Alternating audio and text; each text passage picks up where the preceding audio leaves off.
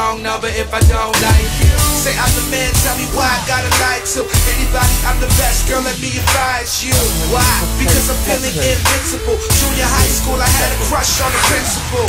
I guess I was turned on by the leadership. Now we got the game wrapped up on some Peter shit. Tell a hater here's a slammer. I know they hating on us, but mind you.